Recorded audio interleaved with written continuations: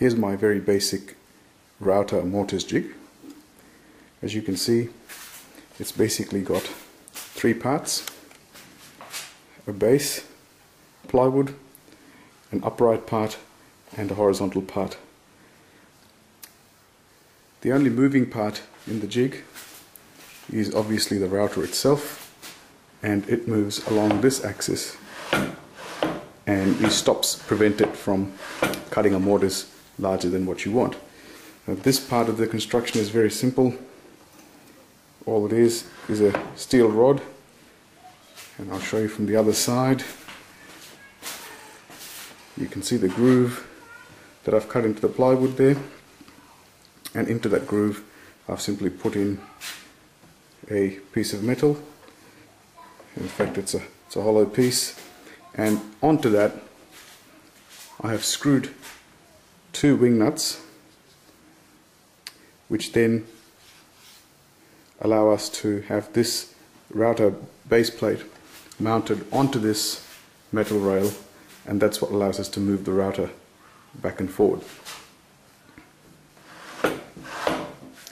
On the front part of the jig there's a number of holes simply to allow for clamps to be put through so you can clamp your workpiece under there.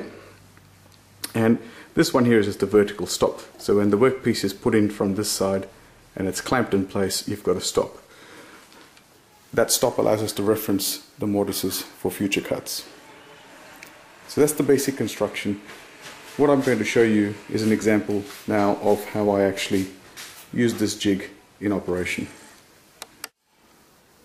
The first thing I like to do, even though some people don't necessarily do this, is to actually mark out the mortise. So in this case you can see what I have done here is actually marked out the exact mortise, in this case on the piece where the end grain mortise is going to be made.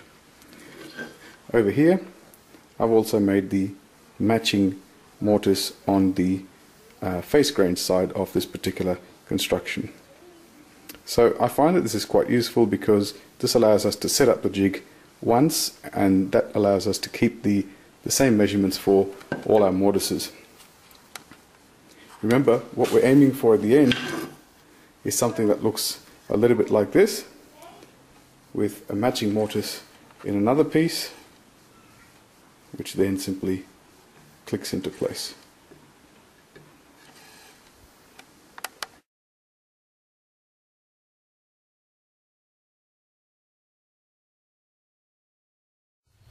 So the first thing I do is I actually clamp the, the piece that's going to be cut. So the piece to the right there is the one in which the mortise is going to be made. This is just the stop block that we're going to use as a guide for multiple cuts.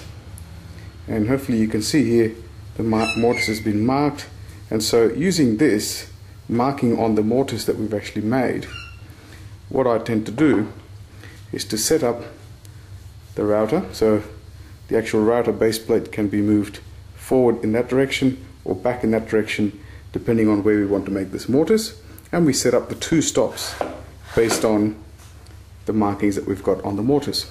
Once you've done that it's just a question of actually making the mortise. Of course you want to make sure that you use the depth gauge on your router to make sure that you get the correct depth of the mortise that you're after.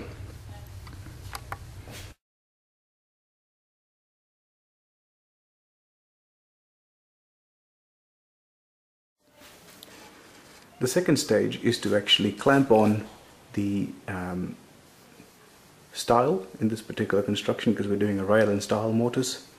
So here is the uh, stile. The rail was the one that we clamped on vertically. So again we've got the stop block and we're using that as a reference point to actually clamp on our main piece.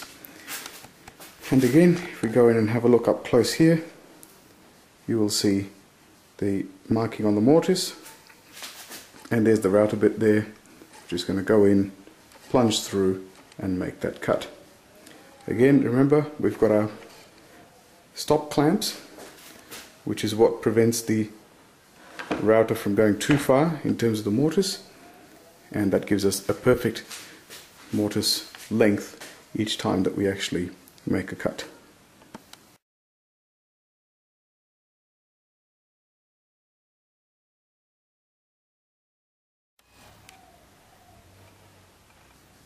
So once we've actually gone through and made that particular mortise, this is what it should look like. Okay, now it's time for us to make the assembly.